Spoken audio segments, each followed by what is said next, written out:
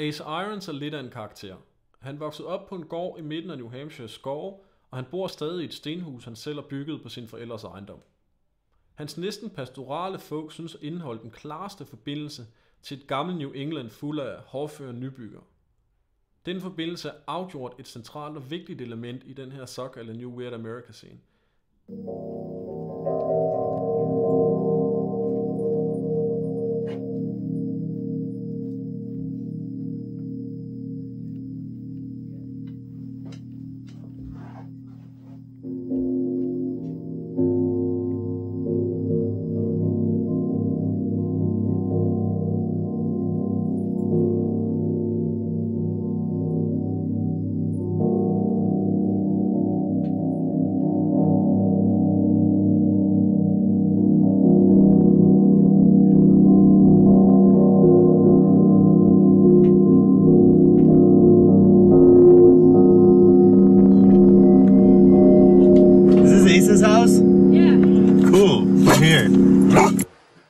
Might be the most localized of anybody you've talked to because, you know, I grew up right through the woods, you know.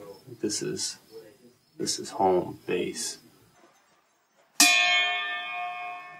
It's a pretty good pair.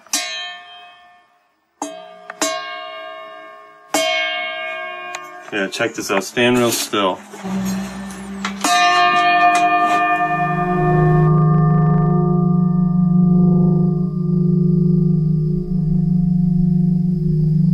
Sounds like church bells. Oh yeah. They are church bells. You know. That's my church.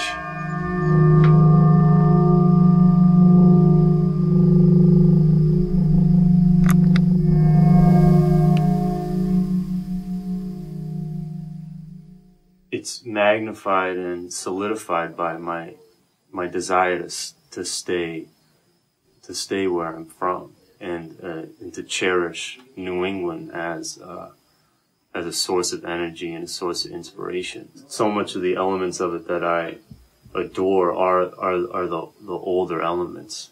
You see them in the landscape, and you see them in the architecture, and you see them in the older folks.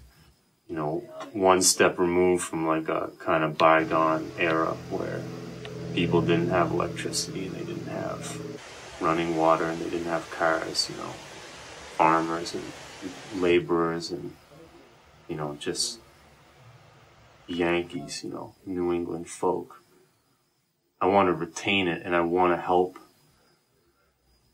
I want to help guide it, that essence into the future without it being camouflaged or deconstructed by the sort of impurities of the modern world. And music is an excellent way to do that because it always cuts through the superficial elements of society and it always brings people into a unified space.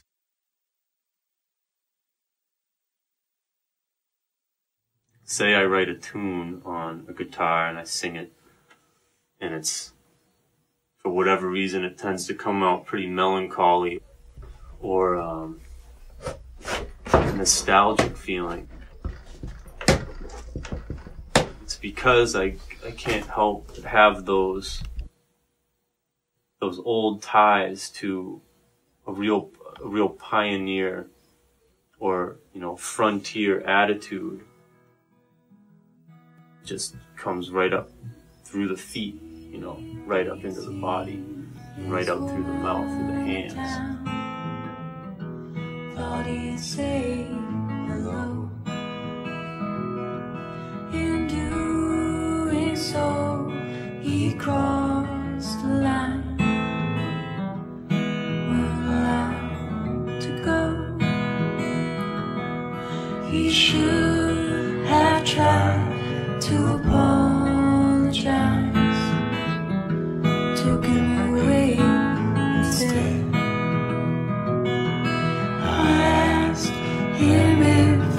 he'd see her again. Only shake his head. They tried to build a house in the woods. When I, well, when I think about the points where I really feel like I'm getting at it, really feel like it's starting to make sense. Um, I tend at those moments to feel pretty vulnerable. You know, not exactly physically, but just uh, opened up in a way. I basically mess around until I feel that vulnerability and then try to slowly weed out of it the uh, impurities or cliches or self-conscious movements. And once that starts to happen particularly with psalms the vulnerable emotion becomes a you know a, a conduit. More or less how other music I make with, with saw blades or with you know improvisation. They I try to reach that same core element emotionally.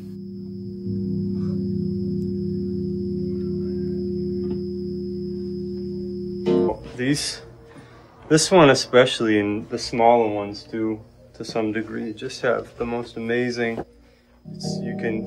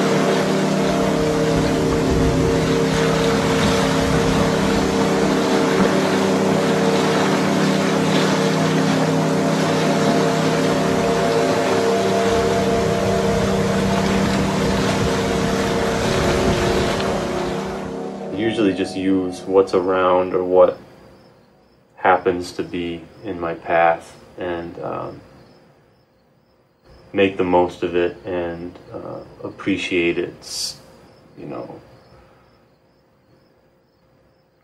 circumstantial relationship. And uh, it's tended to work out pretty good.